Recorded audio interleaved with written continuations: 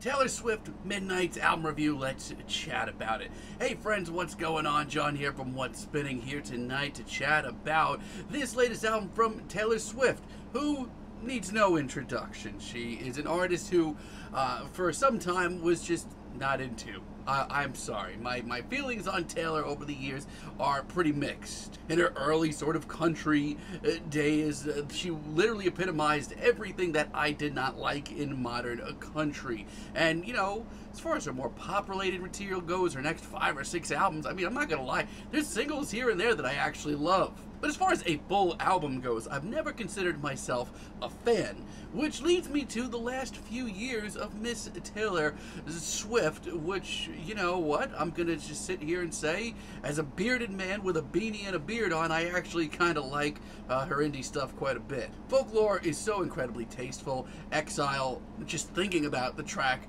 it, it gives me the damn chills. And it also just seemed so damn authentic, which is what really you know, stuck out to me. Just her love and appreciation for the music that she was creating at the time. Uh, and Evermore, which came out shortly after, I thought was just as good, even not better in points. Which leads me to this new album, Midnight. It's a much poppier release at the end of the day, which kind of worried me from a distance, but, you know, I'm going to say this. As far as her pop material goes, this actually is not that bad. Lavender Haze as an intro, I really like it quite a bit. It's got a little bit of an edge to it, much like the album cover here.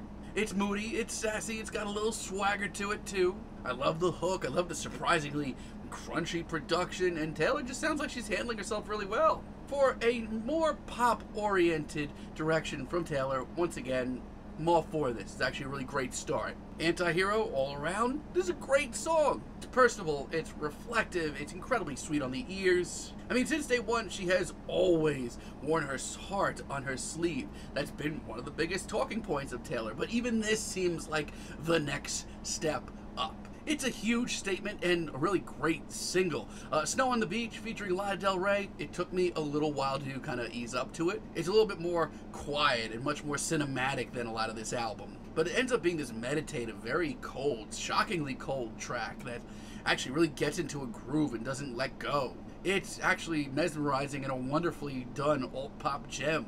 Then we have You're On Your Own Kid, which in a lot of ways sounds like her early material, but just a little more grown up, which is cool by me. Instrumentally, it also does take from a lot of the folky elements of her last two albums, but it's all about Taylor, her delivery, her stories, and just her.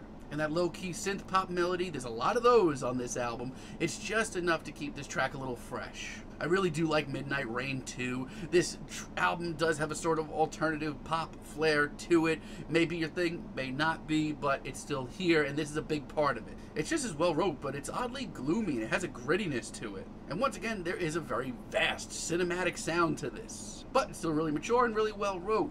And as far as a deep cut goes, look no further than Question. I think it's the best track here. I love the intense lyrical performance we get here. Taylor sounds so focused. A lot of the very subtle synths here work really nicely. And I have to once again commend just how revealing and incredibly personal this is. So as far as a more Taylor Swift pop album goes, this isn't that bad at all. There's a lot of great material on here. My issue is that Taylor at the end of the day doesn't really come through with a complete thought. Maroon in my book is a bit of a miss. I do like the chilly, minimal synth pop beat that we get here. That's pretty cool. But Taylor's low energy, very methodical approach to this track is just not where I like to hear her. Even this chorus just doesn't really pop in in any way whatsoever. It's just very middle of the road. Sorry, y'all. I know a lot of people love it, but vigilante shit is not for me. Listen, this minimal, booming beat is something different for sure, and it's actually pretty cool.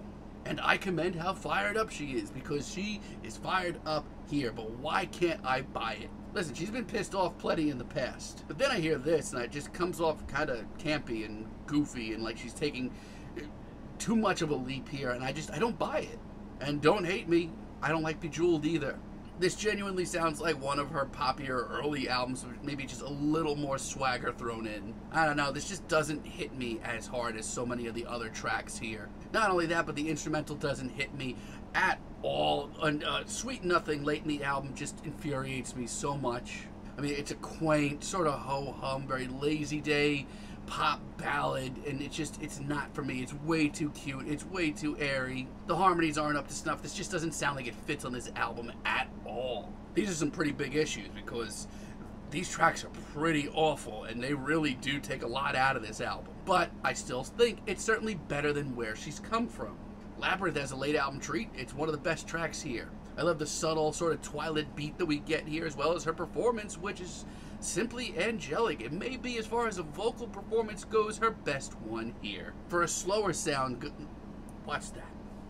For a slower sound, this is how you do it, folks. This is how you do it on this album. This is how you write a mature love ballad uh, at this point in Taylor's career. I really love Karma as well. It's very heavy, synth heavy beat is so good. It gives this album a little bit of an edge and it brings it just a little bit more cool as well.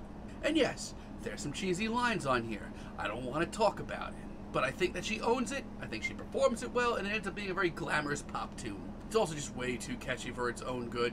And Mastermind, uh, while short and sweet as a finale, I think it really, you know, does a great job of summing up this album's sound. It's one of the most intricate and sleekest instrumentals here. It is freaking cool, and Taylor just sounds so commanding in her performance. It's just where I wanted to hear this album roll out. Honestly, it's not the best Taylor Swift album, and personally, for me, I enjoyed what she was doing in the indie folk world a little bit more than this. But as far as a pop album goes from Taylor Swift, this one's a little grittier, a little bit more cinematic. It's personal, it's well wrote and well performed. And yeah, the bad tracks are god awful, and it's not as consistent as I hoped. And I wish he maybe made a bit of a bigger statement here, but still, as far as a pop album goes from Taylor Swift, this is certainly not a bad one. I'm feeling a very light 7 on this album, but let me know what you all think down below. If you liked the video, be sure to give us a like, give us a subscribe, and let me know down below what you would like for me to chat about in the future. And until next time, have a great day, friends.